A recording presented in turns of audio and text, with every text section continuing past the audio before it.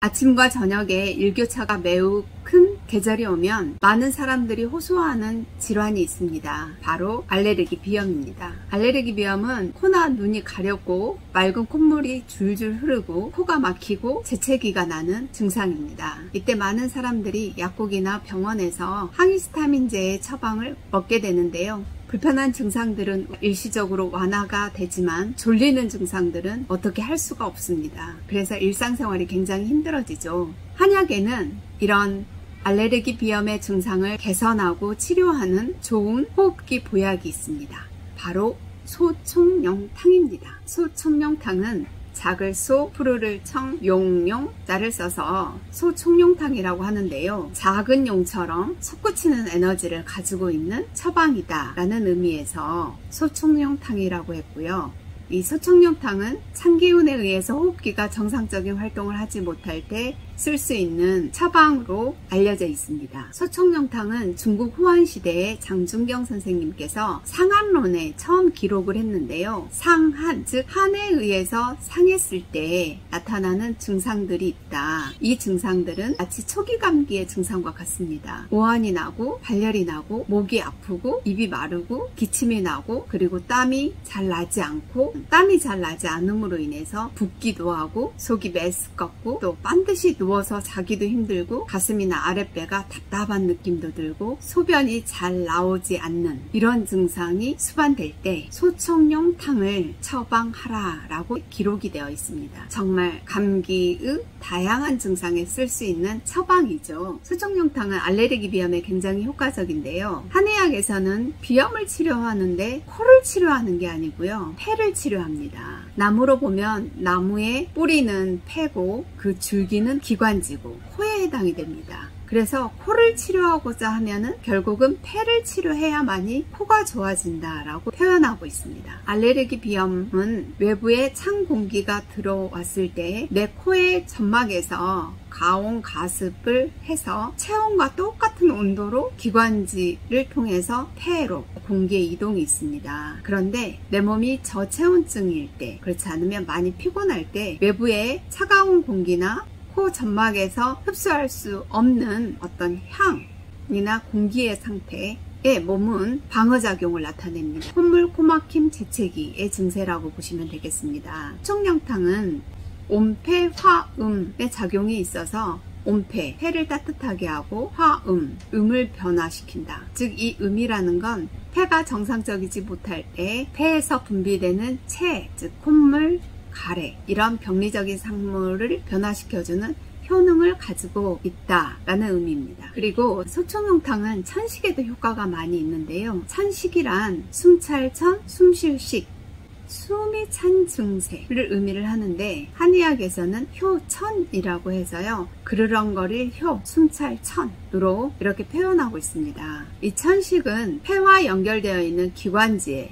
염증 반응이라고 이야기합니다. 기관지가 어떤 요인으로 인해서 좁아짐으로 기침이 나고 숨이 차고 호흡곤란이 나타나는 증세입니다. 이 소청령탕에는 마황이라는 약재가 들어있는데 마황의 주 성분이 에페드린과 슈도에페드린이라는 성분입니다. 이 성분들이 기관지 확장 작용을 하는 효능을 가지고 있어서 천식 방식의 탁월한 효능을 가지고 있습니다. 2001년 대한한의학회지에 의하면 천식 환자에게 2주간 투여했더니 호흡기의 증상들이 전반적으로 완화된 효능이 보고되고 있습니다. 담배가 몸에 해롭다고 해서 담배 끊으신 분들 많죠. 그리고 끊으려고 노력하고 계신 분들이 있으실 텐데요. 금연을 하다 보면 기침 가래가 자주 발생이 됩니다. 금연으로 인해서 이 폐 자체 정화작용이 일어나는데요. 이때에도 소총용탕이 굉장히 좋은 효능을 발휘합니다. 소총용탕은 기관지의 공기 흐름을 원활하게 해서 과잉된 그 가래를 배출해주는 효능을 가지고 있어서 기관지 표면의 섬모와 점액 상태의 빠른 회복을 도와주는 효능을 가지고 있습니다. 금연 이후에 가래가 자주 나오거나 기침이 있으신 분들 소총용탕 한번 드셔보시면